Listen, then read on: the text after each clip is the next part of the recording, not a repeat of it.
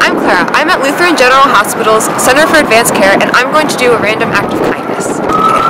Patients who come here are often here for extended treatment, and the hospital staff is here for long shifts. I know this because my mom came here for her radiation treatment when she had breast cancer.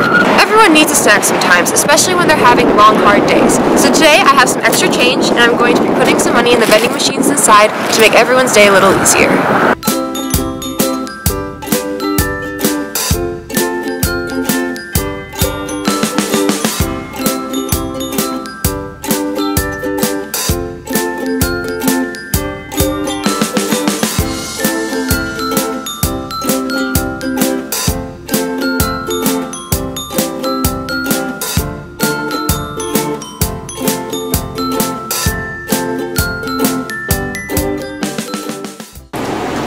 Small credit in the vending machines for anyone who might need a pick-me-up for their hard day at the hospital.